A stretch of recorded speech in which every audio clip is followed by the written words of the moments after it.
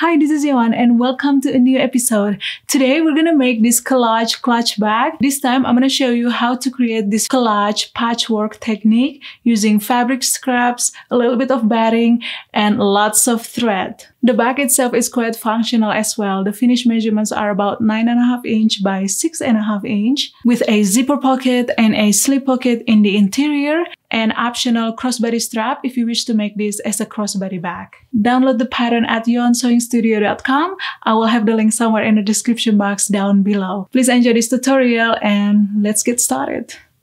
Let's prepare the fabric for the collage patchwork. So you want to gather some crumbs, bits and pieces from your scrap bin. You may choose one dominating color. In my case here, I choose pink. Or you can go bold, um, use multicolor in various patterns, or you can go for solid ones. So follow your creative instinct. For this project, I prefer to have my fabric scrap on the smaller size. So if I see one that is a little too large to my liking, I simply cut it into smaller pieces. I also trim off the selvage ends. For some reason, I'm not a big fan of them, but if you like them, you can keep them, of course. Next, we're gonna prepare the batting. So for this project, I'm using 100% cotton batting. So this batting will be the base for us to build the collage.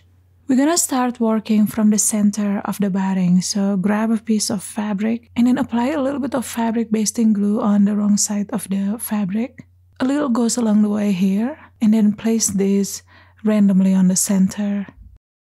Now take another fabric and then apply some basting glue. Then position this also on the center, um, overlapping a little bit from the previous fabric.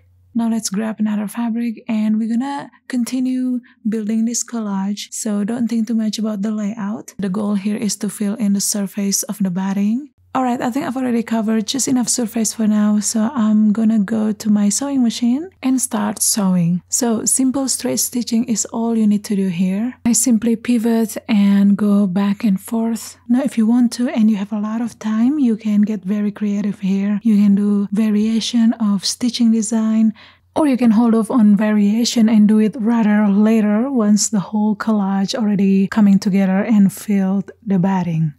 So there's really no set of rules here. Um, just have fun and follow your creative instinct. Alright, now I want to continue building my collage. Keep adding more fabric and overlap them. And it's totally fine if there is excess fabric sticking out from the batting. We're gonna trim this off later anyway after we're done piecing.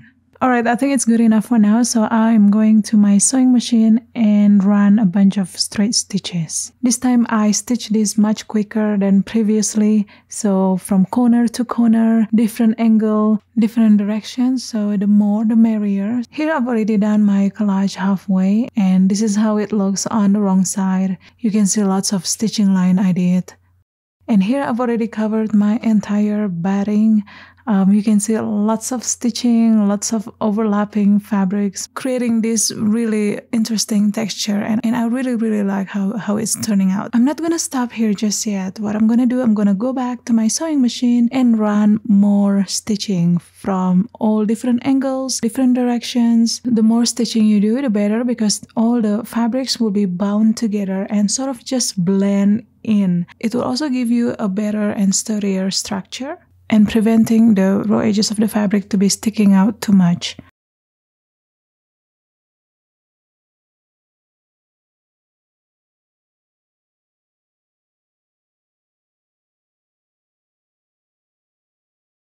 Alright, I am done stitching my collage fabric and I really really like how it looks and the texture of this fabric. Now let's trim off the excess fabrics that are sticking out from the batting. So we want the edges to be even. And then we're going to trim off this panel again so that the width will measure 10 and a half inch and the length will measure 18 inches.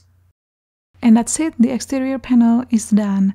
Now let's work on the interior. Cut a piece of rectangle the same size as the exterior panel. Fuse the wrong side with some fusible woven interfacing that you cut a slight smaller and center the position of course. Now let's work on the zipper pocket. So grab your zipper pocket panel, draw the zipper template one and a half inch down from the top edge, right on the center. Draw a 7 inch by 3 8 of an inch rectangle and as usual you want to draw the little corner triangles and the line right on the center of the template just like shown on the screen right now. Position the zipper pocket panel on the right side of the interior panel about 4 inches down from the top edges. Pin them in place and then stitch right along the outline of the template. Once you've done that, you want to cut through the center line and the corner triangles as well. Of course, be careful as you get to the corner, do not cut through the stitches. Turn the pocket panel to the wrong side and then you want to press this to neaten up all the edges. Now let's prepare the zipper. So you will need an all-purpose zipper at least 8 inches long. As usual, apply some basting tape on the edges of the zipper tape and then then position the zipper template on top of the zipper. Once everything is secured, let's stitch this all around. Use about an eighth of an inch seam allowance. Trim off any excess zipper about quarter of an inch from the seams. Now let's bring the bottom of the pocket towards the top, aligning the edges, and then stitch the sides and the top with 3 eighths of an inch seam allowance. Of course, when you sew, make sure to get the interior fabric out of the way. And that's it. The zipper pocket is done. Now let's work on the slip pocket. Fold the pocket panel in half widthwise so the short side edges should be touching each other and then stitch this with 3 8 of an inch seam allowance leaving about 2 to 3 inches of opening to turn this pocket inside out later. Now let's clip the top corners and then turn the pocket inside out Poke the corners and then you want to fold the raw edges towards the wrong side about 3 8 of an inch and then press this and then top stitch along the top edges at the same time closing the opening. Now you want to position the interior panel with the bottom edge facing up. Lay the pocket panel on the right side of the interior panel about one and a half inch down from the bottom edge. So the top edges of the pocket, the one with the top stitching, should be facing the bottom edges of the interior panel. And of course, you want to center the position, pin them in place, and then stitch the sides and the bottom of the pocket. This is how your slip pocket should look like now, so the opening should be facing towards the bottom of the interior. Now let's work on the D-ring tabs if you opt for the adjustable strap. So you want to cut two pieces of 2 inch squares, fold and press in a fourth to make a half an inch wide strip and then stitch along the side edges with about an eighth of an inch seam allowance. Now let's attach the D-ring and then position the D-ring tab on the bottom edges of the interior panel about an inch away from the side and then repeat the same to the opposite side. Now sew this in place with quarter of an inch seam allowance. For the adjustable strap, you'll need about 55 inches long strip 2 inches wide since we're gonna make a half an inch wide strap. Fold and press your strip in a fourth but first you wanna fold and press the short ends about half an inch towards the wrong side. The same goes for the opposite end and then stitch this all around with an eighth of an inch seam allowance and then go ahead and install all the hardwares, the swivel hooks and the slider as well. If you need a tutorial on how to install the hardwares, I will link a separate video for that, so check somewhere in the description box if you are watching from YouTube, and I will include that on the pattern as well. Now we're going to install the magnetic snap closure. Now if you haven't already, you will need to decide which side will be the bottom and which side will be the top edges of your exterior panel. You may do a little bit of assessment by folding your exterior panel in a third, just like that, and see which side you like best. So the edges that will be the flap of your back, that will be the top edges of your exterior. Thus the opposite side will be the bottom. From the bottom edge of the exterior panel, you want to measure 3 and a quarter inch right on the center. Put a little mark there and then install the female magnetic snap. From the top edge of the interior panel, you want to measure 1 and a quarter inch right on the center and then put a little mark there and then install the male magnetic snap closure. Before you install the male magnetic snap, make sure to add a couple extra interfacing on the wrong side to stabilize this area. Now it's time to assemble our bag. So lay the interior and the exterior panel right sides together. So you want to make sure that the bottom part of the exterior, the one with the female magnetic snap, is touching the bottom part of the interior, which is the one with the slip pocket and the upper top of the exterior is touching the upper top of the interior which is the one with the male magnetic snap. Now let's clip this in place and then stitch all around leaving about 4 to 5 inches of opening at the bottom to turn this back inside out later. Once you've done sewing, you want to clip all the corners. Be careful not to cut through the stitches. And then trim off the seam allowances of the long sides and the top. Don't trim off the seam allowances of the bottom part because we need that extra fabric to fold the raw edges of the opening hole.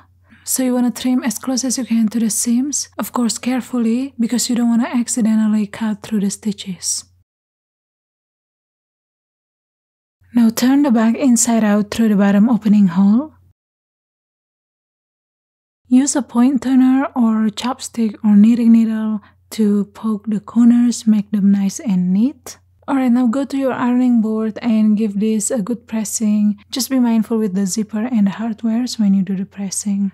And here I've already pressed my fabric. Now we're gonna take care of this bottom opening. So fold the raw edges towards the wrong side about 3 8 of an inch and then clip and then stitch this with an 8 of an inch seam allowance.